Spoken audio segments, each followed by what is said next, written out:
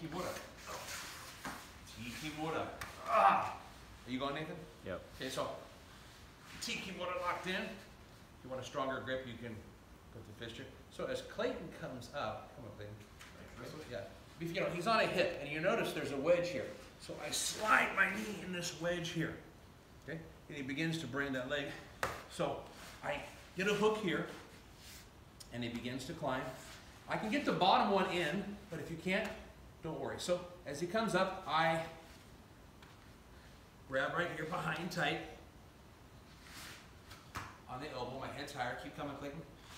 As he comes up, I post. So now, hooks are in. Come on, Clayton. Come break. So when you get both hooks in, okay, break, break them down, and we can put in some nice chokes right here. Ah. You're big, so the, the, the textbook moves always look. Okay, so let's go back again.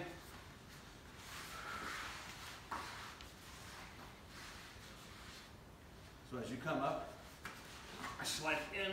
I'm still keeping him down.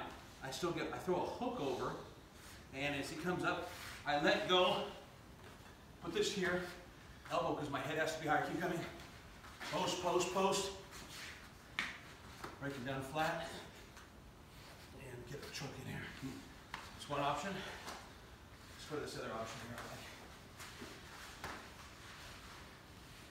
So, Tiki he comes up. Let's say his knee is up high. So I can't put this in here.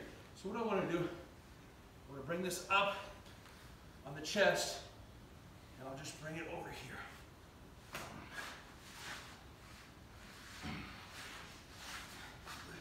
And bring the knuckles here. Oh.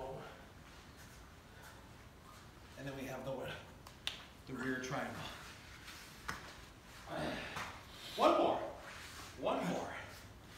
One more. So we'll just go. So he comes up, slide it. Now I, I try to put this here, his knee's up high. So you want to bring this up. Don't try to bring the leg up here. Bring the knee up on the chest. Now and try to pull with this and get pull and this leg comes here. So from here, I can bring this here. Clayton's kind of big, so I have to have to adjust. Bring this leg out. Back to the keyboard lock your hands, Clayton. Okay, so can just traditionally do this.